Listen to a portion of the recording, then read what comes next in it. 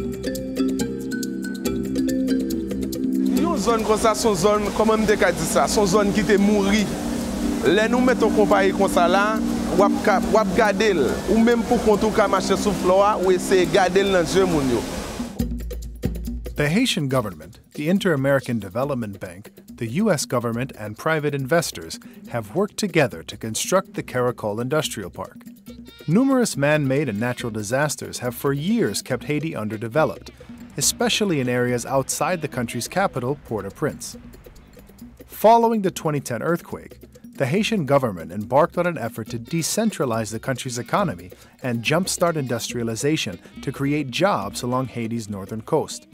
Industry, in particular the textile industry, is one that can you know, bring very quickly a lot of jobs. Obviously, the people of Haiti need jobs.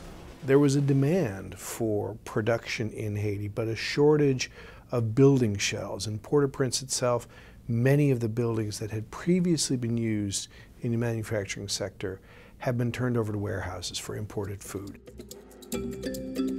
Constructed on 242 hectares of government land, the $300 million industrial park is providing thousands of jobs, stimulating the regional economy with correlated business activity and facilitating access to the U.S. market. The Haitian government, the IDB, and the U.S. government are working together to ensure that the right studies have been conducted and safeguards have been put in place to build safer facilities that employ more people, grow the economy, and drive the creation of better infrastructure and capacity. It was a risk worth taking. We have managed it very peacefully, very quietly, and the park, we were able to build the park without any difficulty. But before it could be built, farmers who had been working the land where the park now sits had to be compensated. A waste treatment plant had to be installed to safeguard against pollution, and a 10 megawatt power plant had to come online. In three short years, the electrical plant generates energy not just for the park, but the surrounding area. And the park's tenants now employ thousands of workers in modern, safe, and well equipped factories. And last year, the Haitian Ministry of Economy's Technical Project Execution Unit successfully turned the administrative and human resource management tasks over to SONAPI, the government agency charged with running the country's industrial parks. It is the first of its kind in Haiti. It is the state of the art in this area. We have an integrated industrial park with energy, security, water supply, wastewater treatment plant. We have also the solid waste disposal, we have executive housing, we have fire engines, we have ambulances, water transportation, custom offices, environmental supervision, and more. When one thinks about the park, one can imagine the obvious benefits of having the park there. In, first, in terms of generation of, of jobs, around 10,000 by the end of this year, around 20,000 probably by 2020 in very diverse industries within the park, and it's not only textile maquila, but you also have other industries there.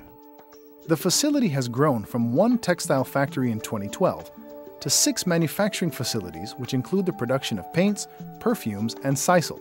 So those, I, I would say, are the obvious benefits. There are others as well, which are not as easily measurable, but certainly even more important. In first case, the industrial park as an enabler of other industries to, to occur there in the north.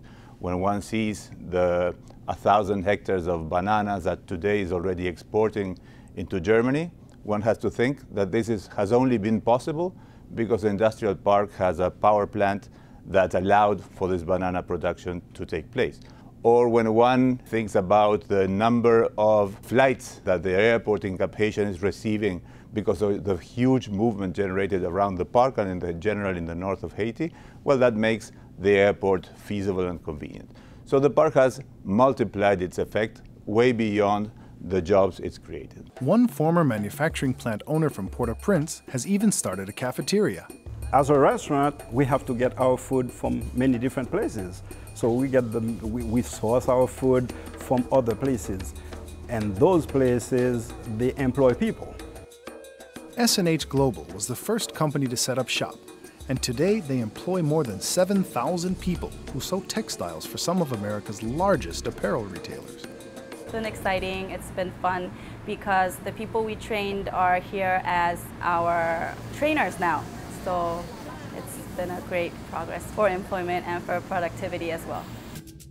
Caracol workers earn between 5 to 7 US dollars per day, compared to the regional average of about $1.50 per day.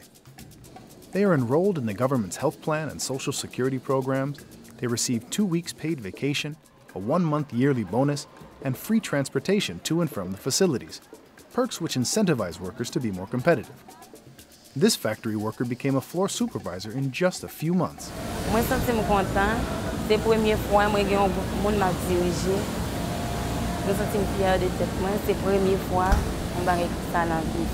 Someday, she might just end up on the administrative side. They work on compliance issues, um, human resources, they do um, overall management of the factories. We intend to have Haitians involved in all aspects of the company, not just sewing, not just on the loading dock, not just maybe doing some of the office work, but being mid-level and senior managers in the company. In that way, we're able to pull out, start to ideate, and work on the next venture to create more jobs and, and keep that circle moving. The northern region of Haiti used to be the world's largest producer of sisal, agave plant fibers used in organic rope, twine, and bags. It's making a comeback because nylon isn't biodegradable. Thanks to the revival of this older industry, Sisalco is among the park's tenants. So the demand for sisal is back up again. And uh, so that's creating a big market opportunity for us. It's also good for agriculture and the environment. Before, the 95% was being wasted.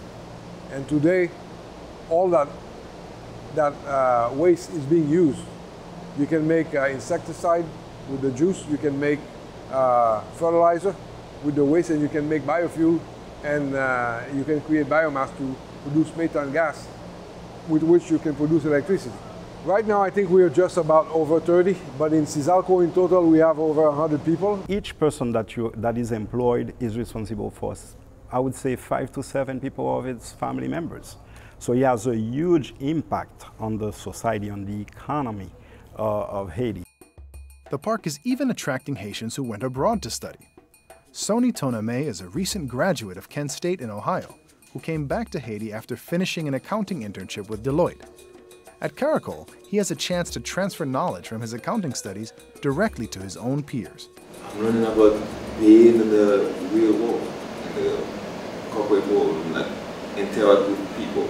If I can impact lives on the big scale, like in cell manufacturing, it's better than me going alone in this journey. Five years in, they will be able to run their own business because they'll know they would have grown it alongside us. They know everything that we're doing. We get something out of it, they get something out of it, and the country is better for it. The park's importance as a, as a symbol, a symbol that in Haiti, things are possible.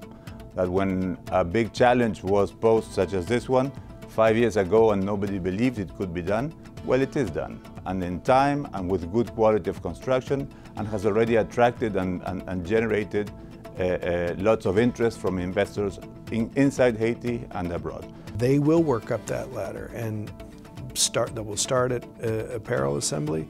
They will move to more complicated types of apparel. They'll do other things. Eventually there will be uh, more opportunities. We have the labor, we have the environment, we have a lot of people waiting to be employed, so hey, come here, invest. It's going to be a win-win situation. We're going to be happy, people are going to be working, and we have uh, an economy that, that will grow.